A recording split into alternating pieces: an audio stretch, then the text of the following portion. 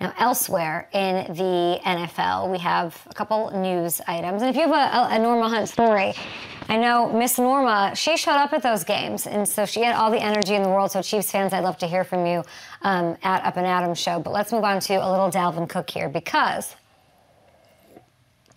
I think he should stay in Minnesota. Okay, ESPN's reporting that Dalvin and his exit from the Vikings is likely, if not completely certain, and basically it's all a formalizing situation. Now, the exit, you know, could come in the form of a trade, but here's where I'm sitting. It'll be hard for Minnesota to get a ton because Dalvin still has three years left on a chunky, hardy contract. So a release seems more likely because of the cap hit.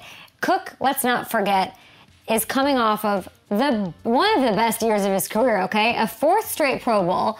He's going into his 28 year season, not quite at that dreaded 30 year old mark for running back, so he's still under that mark. And, you know, yeah, I'll get into some landing spots in a minute. Miami, fine, sure. But the Viking side of things is interesting, and I don't see enough people talking about it right now. They might be in the most complicated but fascinating position of any NFL franchise right now. We don't care. We forget. We completely disregard that they're coming off a 13 and 4 season. Probably because they were bounced in the first round of the playoffs. I get it, but they're in a completely wide open division, lest you forget. And even as the reigning champs, they're not favored to win it. The Lions are the consistent favorite every time I've looked over at FanDuel Sportsbook, and you should if you want to check out this stuff and how the lines are falling here. Uh, the Vikings have been playing musical chairs with the other three, okay? Two weeks ago, Minnesota had the longest odds, and now they're back up in second, which we like to see. And there's good reason for it because they have so much talent on the roster. But I don't think I'm alone in sort of struggling to figure out what to do with this Vikings team. They are a conundrum. They are a total riddle right now. And there's a lot of questions, and it all starts with their quarterback, Kirk Cousins. He's entering a contract year, okay? They traded away their best defensive player from last season in Za'Darius Smith, and now it sounds like Dalvin is all but formally gone. So to me, it seems like they're playing this halfway.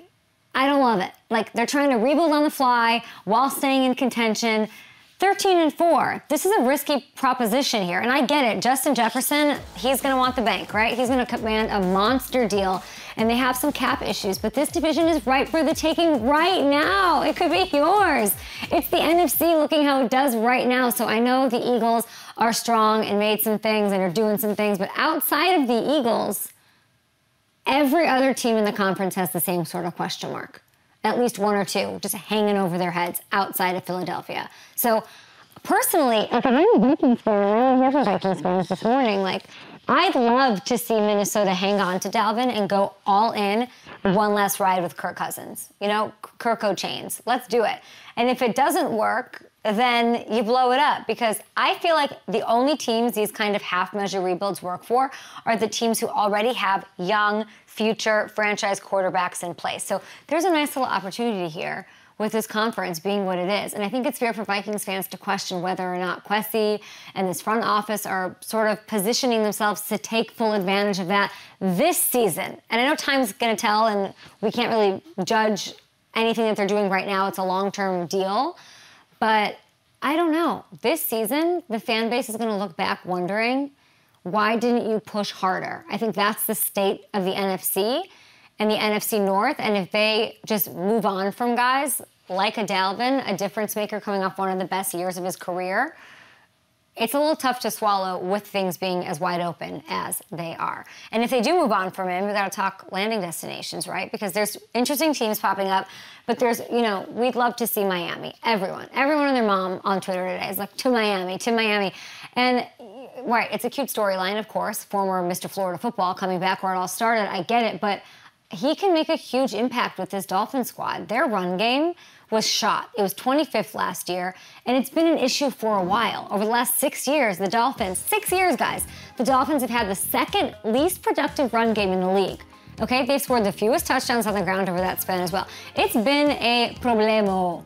So while I know the Dolphins have built this, like, let's go, Tyreek Hill, high octane passing attack, McDaniels so fun and zany and cool, and Waddle's waddling in the thing, let's not forget that the heart of this Kyle Shanahan influenced Mike McDaniel scheme is the run game. It's their bread and butter, and their passing game and the RPOs are all built off of that. So putting Dalvin in this offense might give two of the most dangerous collection of weapons in the entire league. And McDaniel made it very clear the Dolphins are going to make the most of their cap space. He spoke to the media last Wednesday before putting a, you know, the crafty move to work and completely changing the subject before he got any follow-ups. Take a listen to our guy Mike. I'd feel confident to say that um, we'll make good use out of that salary cap room um, when it comes to the start of the regular season. Hmm? I can't believe you guys missed the op. This is this is the South Florida 2023 did not just begin with these um, playoff uh, early progressions of both the Heat and the Florida pa- Panthers. No one wants to talk to me about Nova. Okay, yes, he really did start talking about Division Two Nova Southeastern basketball team and avoided any further questions. And move, I fully respect. We see you, we love you, but uh, let's work with what he did give us for a second, right? Once June 1st hit, the Dolphins cap space jumped up 13.9 million. And he didn't hold back in saying they're going to make use of that space, which, by the way, would be enough to absorb Dalvin Cook's contract if they wanted to make a trade, or more than enough to sign him if he hits the market and they part ways with him.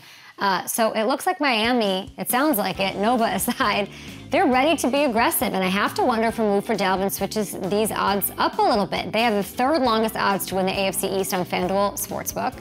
And without Dalvin, the Dolphins are getting slept on here, first of all, beyond. And I, you know, I think if all breaks right and they stay healthy, they're going to contend for a Super Bowl this year in a loaded, crowded, crazy AFC. I think they've got the talent to do it.